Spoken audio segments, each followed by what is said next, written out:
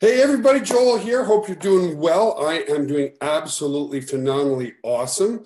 Uh, today, I want to share with you some pretty cool stuff. Let me just close this so it doesn't echo. Uh, let me grab some notes. And, I, and uh, today is a very heartfelt story, but very, very educational. So stick around to the end because the education I'm going to give you today is what completely and utterly changed the direction of my life. I was going to get a good job, get a good education, become a engineer or become a government worker or become go into the military, whatever, because that's what my mom wanted me to do, right? Um, so yeah, let, let me start there. Um, first and foremost, most of the people around you are going to call you insane. They're going to call you crazy. They're going to laugh at you. But again, look at those people who call you insane, crazy, and laugh at you. Uh, look at their lifestyles, you know, and ask yourself one question Would you, right this second, trade lifestyles with those people? And the, if the answer is no, then stop listening to them.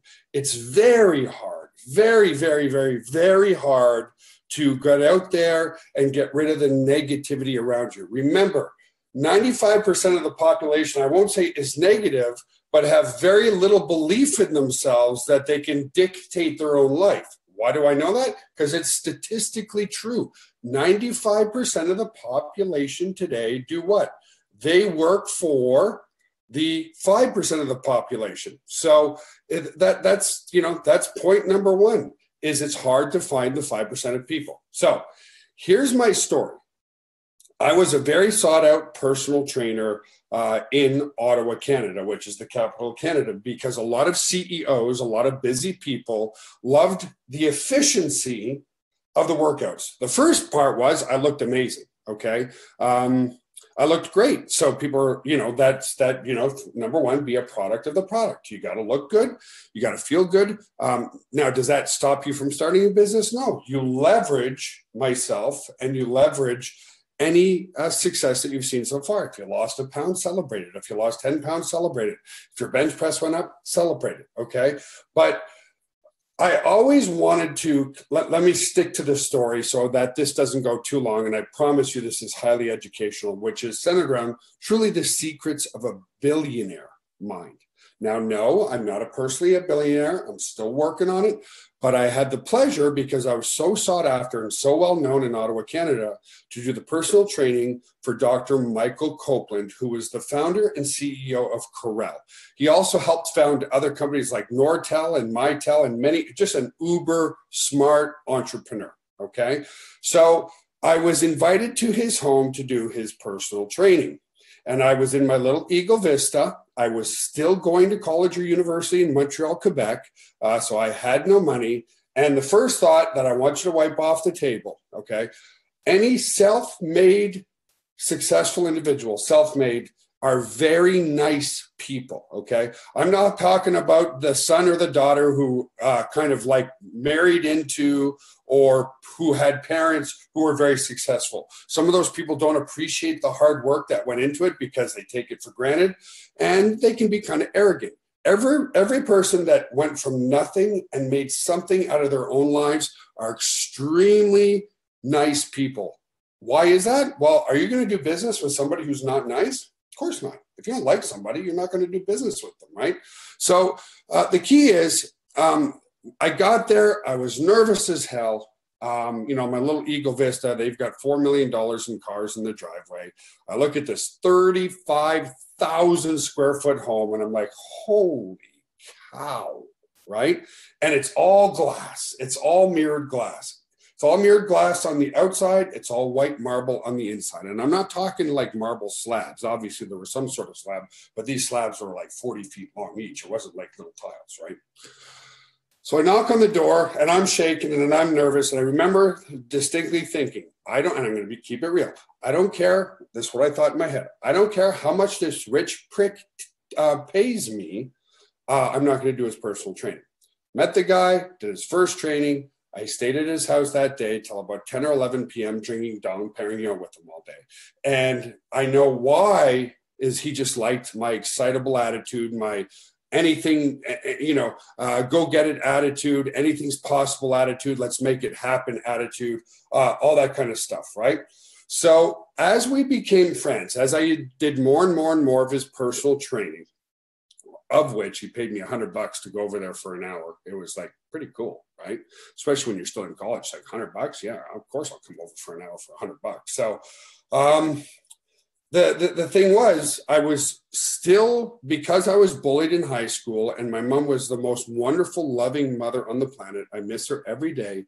This February 25th will be four years that she's been gone. She passed of lung cancer. She was a smoker. She quit 10 years before passing away, but you know, it just caught up with her. I miss her every day, right? And because she was so wonderful to me as a young child, protective of me, uh, my dad was the entrepreneur, but my dad also loved my mother. So when I would go to my dad and say, Dad, you know, mom wants me to do this, this, and this, he would be kind of neutral and say, Listen, just do what your mother says. And so that's what I did. But I knew that's what wasn't for me. I, I, didn't want to be an engineer. I didn't want to work for somebody else. I didn't want to have somebody dictate when I could take a holiday or not take a holiday. I wanted to be the captain of my own life. I knew that from you know young as young as young could be. Okay, so that's that that's the thing. You're not necessarily as much as somebody can be loving, protective, amazing in your immediate family, in your best friends, in whatever. They may not think like you at all. Okay, uh, I just got like a weird pop up on here, so let me make sure.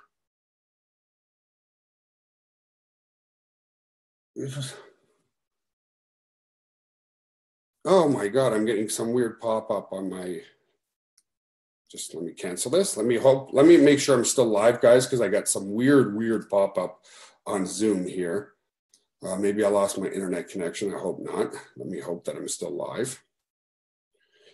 Sorry about the delay. Uh, looks like I'm still live. Uh, let me see. Am I coming through okay? It looks like I'm coming through okay. Okay. Sorry about that, guys. I got a really weird pop up that the meeting had ended. So, anyway, Here's what I learned after we became very, very good friends. The first, one of the first thing that I asked him, and my perception was, was he must be smarter than me. He must be, you know, he just must be a better person than me. You know, he must have like a photographic memory. He must have an IQ of 10 billion, whatever. My perception was he had the success that I wanted, but I wasn't going to be able to get that success because I just didn't have it in me what he had, right? And I remember asking him, I said, Dr. Cowpland, you must be a really good programmer. He's like, uh, I don't know a damn, damn thing about programming. And I'm like, well, isn't your PhD in computer science? And he's like, uh, no. And so, you know, what Corel started out to be goes, I just saw a vision and I found the right people to work with me on that vision. And way back then, what Corel was was it took you know you used to have clip art that you would like i mean we're going way back to the late 1970s early 80s where there was no digital medium to get clip art for advertising in yellow pages and stuff like that. So that's what the first version of Corel was was a bunch of clip art that you could use in a digital medium print them off and put them into your advertising and stuff like that. And so he just saw the vision of that. And he was like no i, I don't know anything about programming he goes I've, I, have i have partnered myself. I've found the right people who are good programmers. I've found the right cfo i found the right people. He goes i'm just the creative person. So that was the first thing that really really caught my mind. Here please pay attention because i remember thinking it was rude it was odd it was crazy. And then i asked him because we were friends i didn't feel uncomfortable about this. One day i pull up to do his personal training and his wife and himself were, were very big humanitarians centered around uh, rescuing animals. So, needless to say, they had many, many dogs, cats, and whatever else that they had rescued from shelters. So, I got to his house, and on the way to the gym, there was an obvious puddle of pee on, on the white marble. So, it kind of, you know, kind of spread out really far. And it was probably you know, at least three to four feet in diameter, and you couldn't really get around it, you know. And um, he jumped over it and he goes, Oh, do you mind jumping over that? And I, I thought that was so bizarre. he didn't even go to the kitchen and grab some paper towel and put it on the pee to at the very least soak it up. He just jumped over the pee like it was nothing. He wasn't even embarrassed. I was embarrassed at the I was embarrassed for him that there was a big huge puddle of pee in the middle of the floor, right? And I was really perplexed by that. And and this is where the real true secrets of a billionaire or a millionaire or successful mind came in. And I remember asking him, I said, Does that not bother you? He goes, Why would that bother me? It's just pee. I'm like, I still didn't get it, right? He goes, Joel, I can't afford to put my mind on anything other than the things that I want it to be on. So he's like, well, one, I have four nannies that work in my home, you know, 35,000 square feet. They'll, they'll get to it. It's their job. I pay them for it. Uh, so I can't afford to worry about anything than what I want to focus on. So it could be business, it could be his relationship at that moment. Whatever he wants to focus on is what he focuses on. And believe me, folks, after running a business for 20 years now, I so get it. As an example, I focus on what I feel is the most important things that I can do every single day for income generating activities. And at the moment when I want to turn off the income generating activities, because you still have to find, find a work family balance, um, I'll do so. But as an example, I thought for sure, for sure, all of our bills were on auto payment. Turns out my gas bill wasn't. Now we just had the most major freeze. I sent an email about our supplements going out late, and evidently it wasn't. So I didn't even pay my gas bill. It got shut off. It's not something that I pay attention to. It's not something that I want to pay attention to. So uh, you know that, that that's the thing, right? I, you have to focus your brain on income generating activities and away from minimum wage activities. So, as an example, him taking the time, and you'll get it one day, folks, him taking the time to focus on cleaning up the pee when it wasn't his job um, just wasn't worth it for him. And me focusing on whether my gas bill was an on automated payment, I thought it was or it wasn't, it wasn't. Oh, well not the end of the world, right? So that's the thing is don't waste a second, a second of your time on things that you personally don't want to focus on. Okay. And you know what you like to do, what you not like to do, right? I don't cut grass. I don't do dishes. I don't, um, I don't do a lot of things. I don't do a lot of things. And it's not because I'm lazy. That's obvious. Uh, it's because I understand wholeheartedly that I need to focus on the things. Now, some of you might be in a position where you have to do your own dishes. I get that. But get them done and move on, right? So that that's very, very, very important. The other one is don't sweat the small stuff. Like I said on my thing here. Okay, forgot to pay my gas bill. And so I had a little block heater and I was working away anyway. So what? Big deal not the end of the world, right?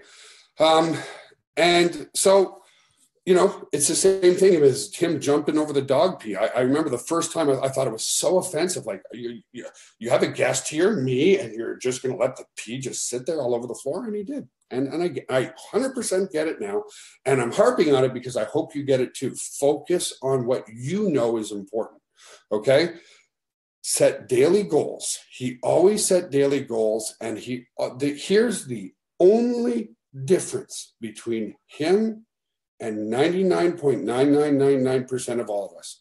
Every single one of us, you included, if you've never made a penny, every single person on the planet has a million dollar idea every single day. I hear people around dinner tables, at bars, at parties, talking about how they're going to do this or do that and guess what happens? A big fat zero. Nothing happens. Nothing. Zero. They don't do anything, right? Two epiphanies in my life that happened with Dr. Cowpland, where I saw that he took massive, massive action. One is I advised him to start an affiliate program with Corel because one of his complaints was, uh, you know, being a multi billion dollar company, they're only doing uh, back in the I guess early 90s, whatever it was, must have been early 90s, uh, $5,000 a day online in sales. You know, back then you would go to a store, you would buy the DVD or the CD ROM and install the software. So I said, well, why don't you start an affiliate program? Why don't you uh, set something up that if people come to the website and uh, people send traffic to your website, and if they buy one of your products, which was Corel Draw, Corel WordPerfect, many, many software products, you pay them a commission. And he, I remember him saying, "Oh, that's stupid, right?" And he goes, "That's so stupid because if you don't take action on that idea for me, I will." Three days later, three days later, he had me in front of the board of directors in Corel taking massive and perfect action. He asked me, as a very young man, to come and speak to his board of directors about how to start an affiliate program. Did I know the coding? No, but he loved the vision. He had the coders to do it. His board of directors decided against it, but that was my biggest epiphany. I had always told my mom I wanted to start an affiliate program online. I wanted to start a network marketing program online. And her gut response was always, Joel, you have no business starting an online business because your education is in cardiac rehab. You're being irresponsible. You have a daughter coming on the way. No, no, no, no, no.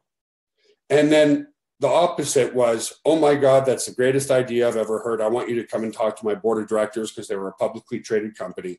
And I was like, hmm, 35,000 square foot home, 1,000 square foot home. I grew up in the 1,000 square foot home. I'm training him in a 35,000 square foot home.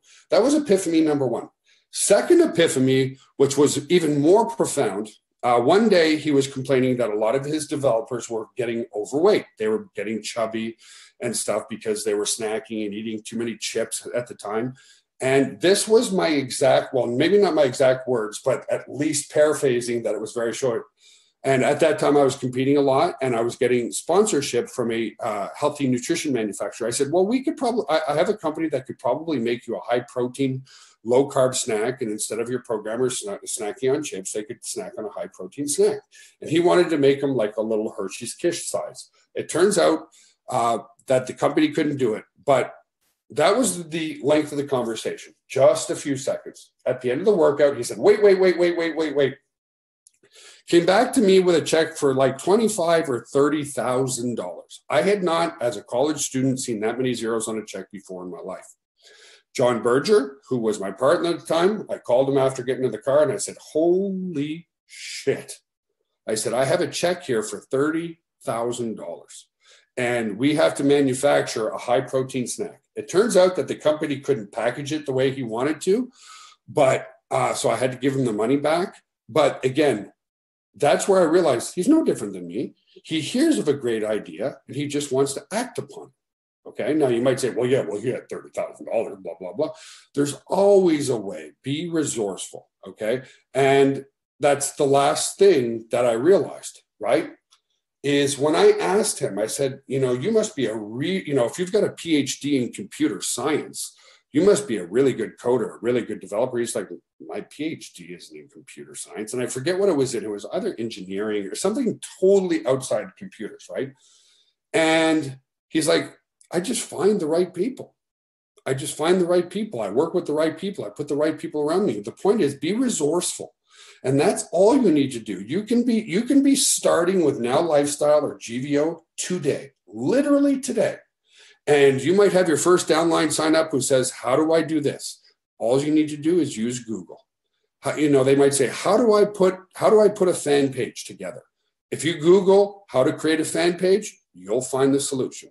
When I started in web hosting, folks, Google was my best friend. Don't forget, I was the level three tech. I was the secretary. I was the phone operator. I was the accountant. I was everything, but nobody knew that. They didn't need to know that.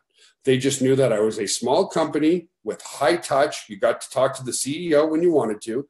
And I focused on my strengths. So, starting at MLM, some practical experience. Maybe you don't have a big downline. Maybe you don't have a downline at all. You just say, listen, I'm going to make this happen with or without you. And because my team's small, we can really work well together, right? Always focus on the positive, okay? In this industry, 95% of people are looking for help. Be resourceful and be the one to help people. And that's so easy to do by maintaining a positive attitude, taking massive imperfect action and getting a continuous education from the right people. Was I going to keep listening to my mother, even though I loved her to death? Or was I going to listen to Dr. Michael Cowpland, who was a billionaire? Right? I see so many people as well actually taking action, but because of lack of education, they take that action and that passion down the wrong path to absolute certain failure. Now, if you have the right education from the right people, they might say, no, no, no, you got to let's veer this just a little bit. And that's going to bring you to certain success. So, myself, I'm living proof. I'm not a billionaire. We've done hundreds of millions of dollars in sales online. Okay. But I still don't know how to make a web page. Um, I've learned and taught myself how to use my fan page by using Google. Um, I've gotten the right resources to put our websites up. I still don't know HTML, but I know the fundamentals of the vision. I know what our vision is. Our vision is to be a hybrid of online and offline, the first network marketing company to do online marketing and have great, tangible, amazing offline products so that both offline network marketers love us and online network marketers love us. And that's the vision. And that's what's most important. And that's why we're moving forward and growing so very well. So that are the secrets of a billionaire mind is focus on what you want to focus on every single day. Don't focus on the things you don't want to focus on. Jump over the dog pee. Don't forget to pay a bill. Not a big deal right? Don't sweat that small stuff. Uh, take daily, massive, and perfect action and get a continuous education from the right people. And finally, don't limit your mind to, well, I don't know this and I don't know that. I don't know web design. I don't know HTML.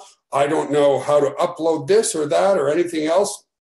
I've learned the fundamentals. I know how to write a good email.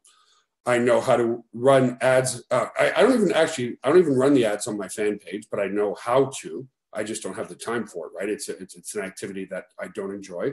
Uh, and I know how to be decent on camera. That's it, right? How many live feeds do you see me do? Why do I do them? Because it's an income generating activity. Okay. Get on video, focus on what's important, take massive imperfect action, never give up, surround yourself with like minded people that you can learn from. And I guarantee you, folks, you will see massive, massive, amazing success. So listen, have yourself an awesome Wednesday. I was going to say when yay, but that's kind of hard to say. So anyway, folks, have an awesome day. Love you all very, very much. Take this education, take these tips to heart, focus on them every single day, and you'll see massive changes in your life, in your business, and the people around you. Take care. Love you all, and we'll see you again tomorrow. Bye for now.